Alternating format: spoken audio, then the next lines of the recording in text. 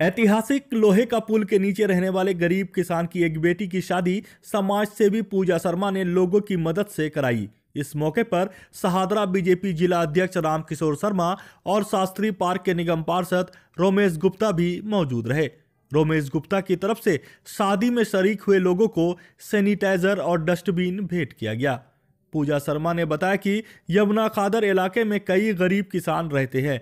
Corona महामारी में इनकी स्थिति और भी खराब हो गई है। ऐसे में इन किसान परिवार का सहयोग करने के लिए उन्होंने इलाके के लोगों की मदद से अब तक पाँच किसान परिवार की बेटी की शादी कराई है। धार्मिक भेदभाव से ऊपर उठकर दो मुस्लिम लड़कियाँ भी इसमें शामिल है। इस बार लॉकडाउन में हम लोग सबने मिलकर पाँच कन्याओं के कन्यादान किया। ये पांचवी लड़की का है।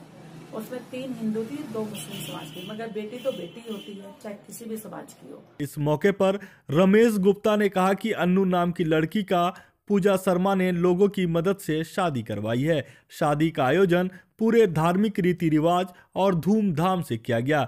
लड़की को भेंट के रूप में घर गृहस्थी का पूरा सामान दिया गया। आज हमारे वार्ड शास्त्री पार्क क्षेत्र में इस लोहे के पुल के नीचे जो बस्ती है, उसमें रहने वाली एक बच्ची, मोनी, जिसे अन्नू भी कहते हैं, उसकी शादी आज है। और हमारी पूजा बहन यहाँ के परिवारों से मिलती जुलती रहती हैं, किसान परिवारों से।